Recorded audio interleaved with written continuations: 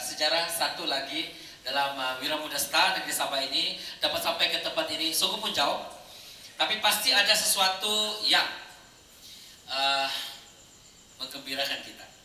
Pasti ada sesuatu kelebihan di tempat ini ken kenapa dia dipilih menjadi tapak uh, Hari Keluarga Wira Muda Star Negeri Sabah. Baik untuk itu kita dengar sendiri daripada penerangan uh, dan seterusnya ucapan oleh yang berbahagia Jasmine Azroy Abdullah, Ketua Wira Muda Negeri Sabah. Silakan.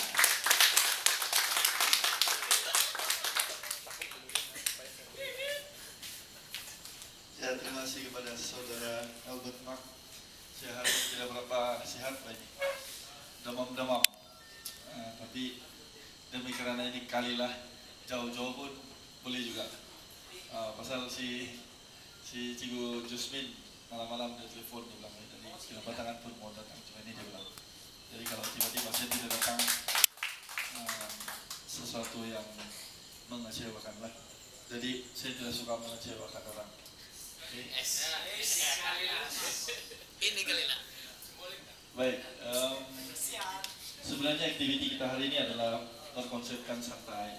Kita sudah pernah berpolitik dengan cara yang normal yaitu dalam keadaan formal ucapan-ucapan yang berapi-api kan apa salah hari ini kita buat satu kelainan.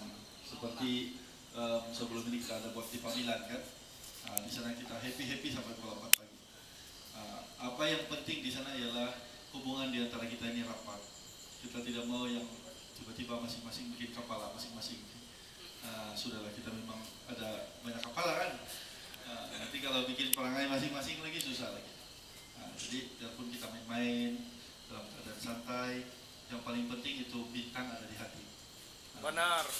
Bila itu bintang ada di hati, itu agenda Borneo ada di bibir, ada di mulut. Jadi di mana pun kita berada, di laut kah, di gunung kah, di bukit kah, di jalan raya yang berlubang-lubang kah, nah kita tetap boleh membawa ini agenda Borneo untuk disampaikan kepada rakyat lah. Oke. Okay?